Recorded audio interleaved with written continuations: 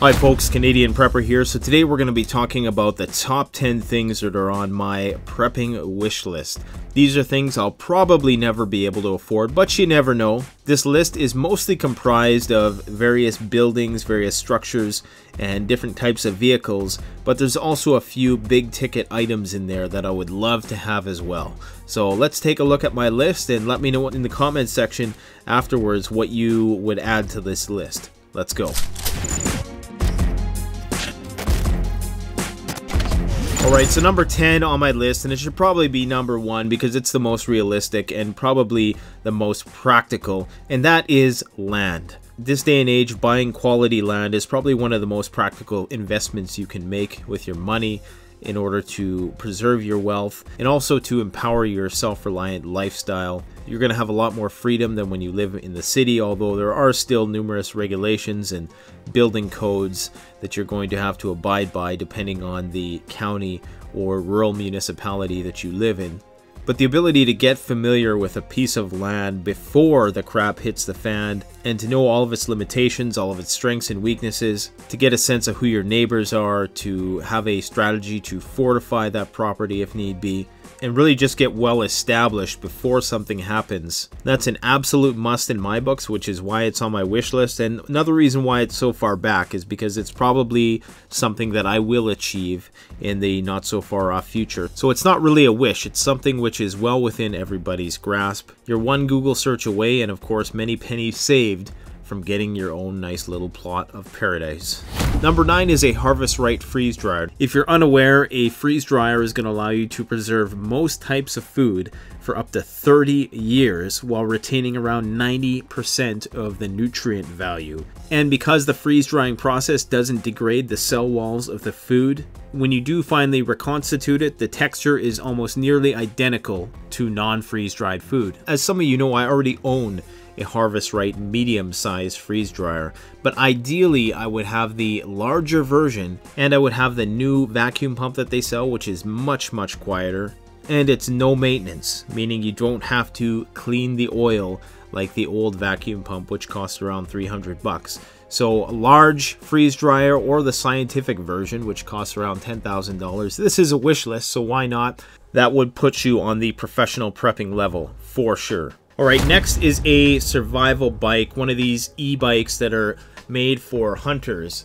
There's numerous different bikes that are coming out right now which are very rugged in their build and they're basically built for hunters. Now these bikes range from 5,000 to $7,000 and usually they have the fat bike tires. These are the only bikes that are approved by All American Prepper, ones that do not require you to pedal because pedaling is for pussies. So these bikes are powerful enough that they're, they're going to be really fast, very high wattage. Some of them are up to 5,000 watts and they got long run times, they got a lot of power.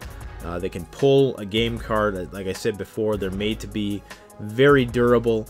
So definitely this is up on my list and of course they're going to be much much quieter than accessing an area via quad or something like that. In fact, it's probably going to be quieter than walking into a region. So definitely a hunting e-bike is up there on my list. All right, number seven is going to be some kind of amphibious 6x6 personnel carrier type vehicle which can go on land or on sea uh, something which of course has armor, something which could transport a lot of goods. There's so many cool variations of this type of thing out there. Now within this class I'm going to add other military vehicles as well, like something like a Deuce and a Half, or maybe an armored Humvee, something that's made to be bulletproof is going to haul a lot of gear and as a must, it must have non-pneumatic tires. The tires are always the Achilles heel of any vehicle. I know there's a lot of run flat tires out there, but I would rather have something which you're never going to have to worry about that at all. With the non-pneumatic tires, uh, they can get shot at, uh, parts of it can be compromised, and it's still going to function well. So in a perfect world, the ideal variant of one of these vehicles would have some kind of multi-fuel engine like the Deuce and a Half, which can pretty much eat anything and convert it into raw torque, and power. As far as I know, it'll basically take anything that's flammable. Now, when the non-renewables run out, that's when you're going to have to look into something like a gasifier. And if you're like me and you're in the boreal forest and you have nothing but trees at your disposal, then you might as well convert that into something which can be used by your tactically cancerous monstrosity of a post-collapse bug-out vehicle. Alright, so number six is an Earth Roamer. So Earth Roamers start at around $280,000 and I'm sure if you threw in enough bells and whistles you could probably quickly bring that uh, to a million dollars for one of these things. But man, I would love an Earth Roamer. If you haven't seen these vehicles yet, go and check them out. Some of the features of these things include, of course, uh, all-wheel drive. It's built on a heavy-duty Ford uh, F550 chassis, so it's massive. It's got a huge turbo diesel engine. It can haul 95 gallons of diesel. That's like 400 liters of fuel. It can hold 85 liters of water, has a 900 mile trip range, uh, 12,000 watt hour battery bank. You also have 13,000 watts of onboard solar power. You have a non-noisy generator. Oh, I mean, the list goes on of the things, and everything is intelligently designed so that you know you can cram the most amount of stuff in the least amount of space. You have water system. You have a washroom. You have gun racks. You got a bedroom, a bathroom, a kitchen, dining room, everything you need. You got a barbecue on the back that comes down.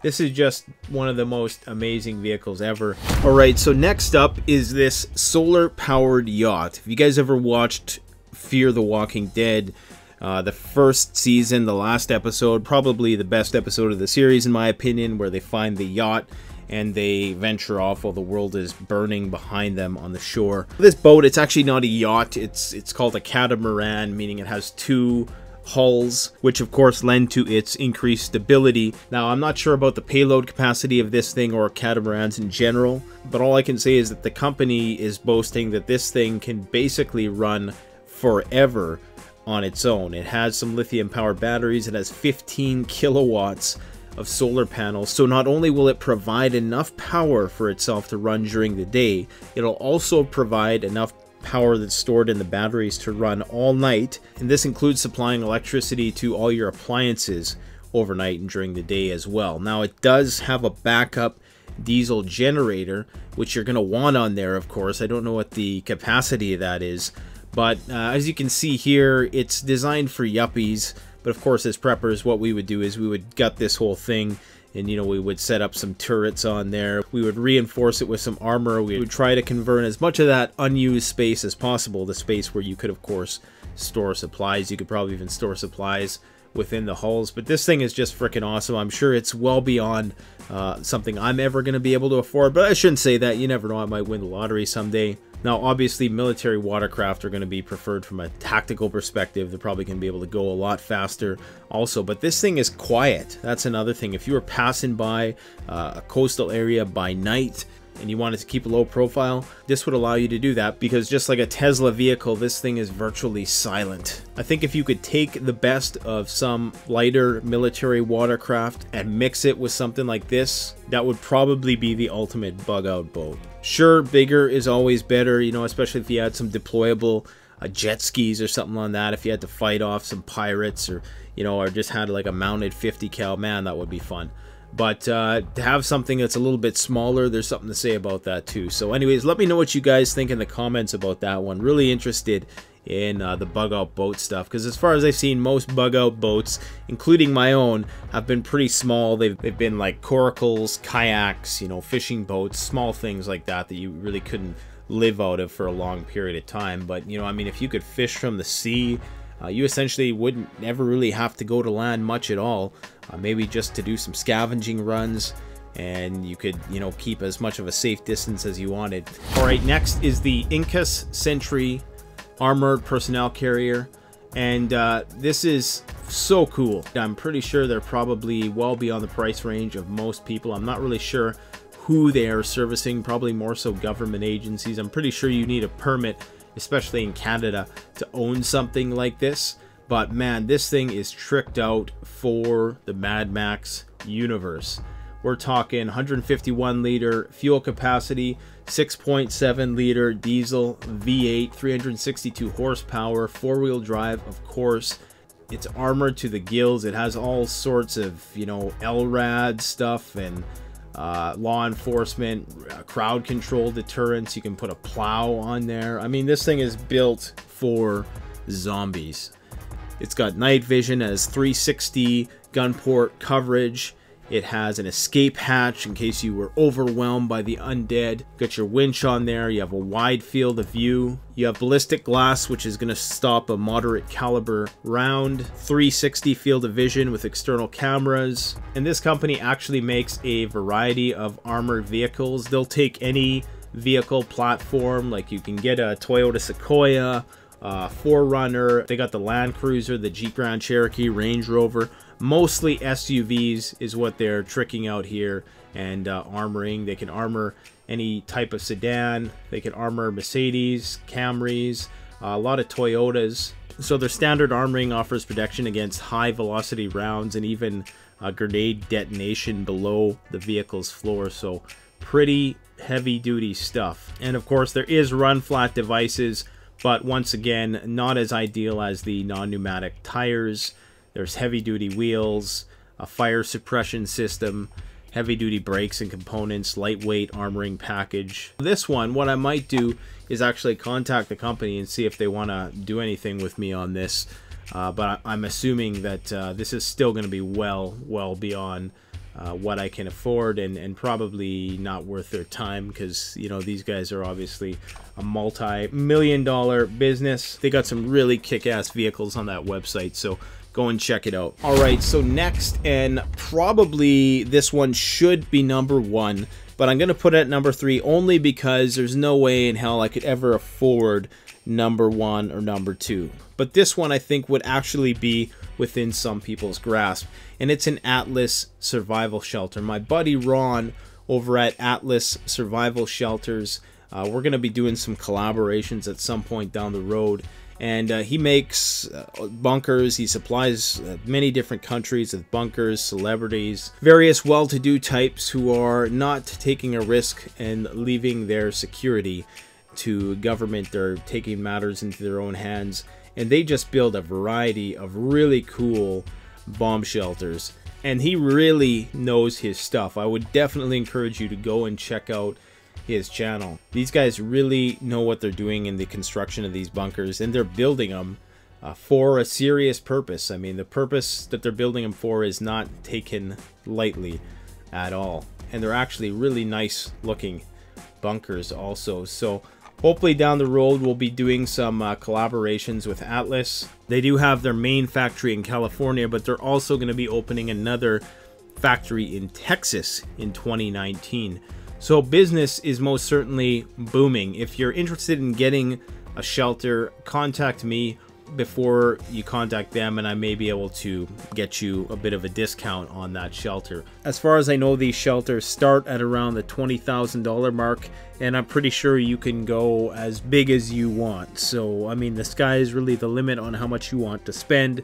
They will build it for you. A lot of times they build these into the foundation uh, before the houses are even built. So if you're interested in getting one of these, contact me at canadianprepper at hotmail.com or canadianpreparedness.com and we will definitely try to hook you up with a better deal. So I really look forward to seeing Ron's channel uh, blow up on YouTube. He recently had a viral video which I think is long since overdue considering the stuff that he does and just the personality that he brings to his videos. He's got a lot of personality. He has his own TV show so I'm quite certain that his YouTube channel is going to take off, but go and subscribe to his channel if you get a chance and check it out. If we're talking about a prolonged grid down scenario, like a full-blown EMP, World War III style, we're going back to the medieval era, it's Mad Max with no bullets type situation, you're going to want a fortress.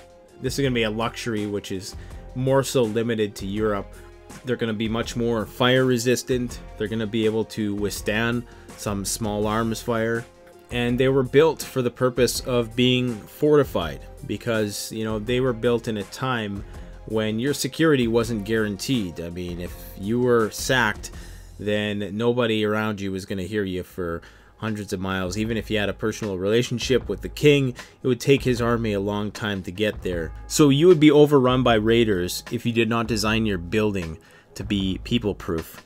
And that's basically what a castle is. So a castle is definitely up there on my list. Now, in the same vein, because I am running out of spots, next would be an island. And there's a website also, in addition to the website that you can go and buy a castle on, there's a website that you can go and uh, buy an island if you want. There's a lot of islands for sale. Now, some of them are kind of crappy. Uh, you can buy islands all throughout Canada. There's thousands of islands in Canada, believe it or not. We have a lot of water here, uh, especially along the west coast, out east. Um, not so much in the interior regions, but there are a lot of islands. Most of them have a lot of trees on them. And of course, the only thing I'd be worried about with islands this day and age is uh, storms, uh, rising water levels, things of that nature. Uh, look what happened to Florida recently with the hurricane there. So you definitely want to be in a high enough position. But the prices for these islands, uh, it varies. You know, you can get some for a couple hundred thousand dollars. It goes all the way up to the multi-millions of dollars. There's going to be a lot of islands in the northern boreal forest that are just considered crown land, but you're never going to be able to access them unless you have uh, some kind of uh, seaplane or something like that. You can basically go and make one of those islands your own and nobody would ever be none the wiser. Maybe, you know, a plane would fly over once every hundred years, but uh, that's all you'd have to worry about. So an island is definitely up there. Now, number one on my list is a safe house, which is built by developer Robert Konieczny. This is a real building. This is not a concept house. This is the real thing. And it's a house which basically transforms and uh, it's a zombie house. Now this is a pretty popular build. This story has been published all over the internet, you know, the best zombie proof home. This is basically at the top of everybody's list and it really is at the top of mine too. Uh, the only thing, of course, you would have to outfit it with a lot of heavy duty armaments. You would want to get some kind of well water system. You could put sun tracking solar panels on the roof, turn that green space out there into pasture for some animals, uh, get a garden, get some watchtowers up there, and you pretty much got it made. So in its current state, I don't think it's the number one preppers holdout. I think, you know, you get the Atlas guys in there, you get them to put a, a nice sized bunker down below. You get some military guys to come in there to optimize it for security, get some experienced horticulturalists in there, some electricians in there with good experience with uh, sol installing solar technology, and you're going to really be able to do a lot with this building. Let me know if there's some things on here that I've forgotten about. Now, I didn't include firearms within this list. Uh, that could probably be its own video in its own right, top 10 prepper uh, fantasy firearms, if you will. Obviously, everybody wants a minigun. Not everybody has the half a million dollars it's going to cost to get one. And yes, there are about a dozen legal miniguns in the US, in case you wanted to know. It's a useless factoid there. Let me know what you think in the comments would be on your wish list. Thanks for watching. Don't forget to like, comment, subscribe. Canadian Prepper out. The best way to support this YouTube channel is to support yourself by gearing up through CanadianPreparedness.com or BugOutRoll.ca.